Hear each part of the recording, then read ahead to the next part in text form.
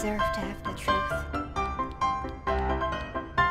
You came back because of your coworkers. You want to know what happened and why.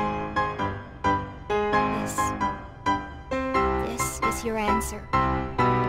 We called it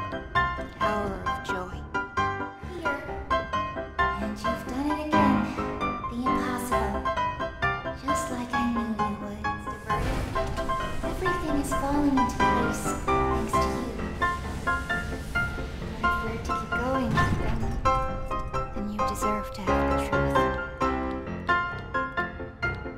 Came back because of your coworkers. We called it the Hour of Joy.